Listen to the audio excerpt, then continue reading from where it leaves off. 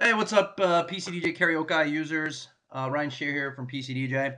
Um, put this video together to demonstrate our new export to TSV feature that was introduced in the newest version of PCDJ Karaoki, our karaoke uh, professional so show hosting software solution.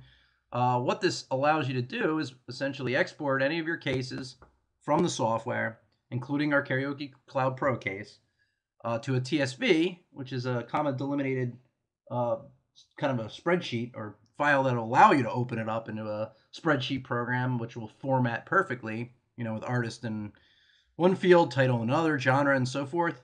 Uh, so you can then edit however you see fit and print out and create your own books without any additional software. Uh, so very convenient, highly requested feature. This is how it works. Uh, for the sake of this demonstration, I'm going to use our Karaoke Cloud Pro case. Um, all you have to do is simply right click on the case you want to export, choose export case as TSV. It's going to ask you where you want to go ahead and save the file to. Uh, you can rename it as well at this point and just hit save. You'll see across the bottom it's going to export the case. It's really quick. It exported 10,900 plus songs just now uh, from the Karaoke Cloud Pro case uh, to the TSV.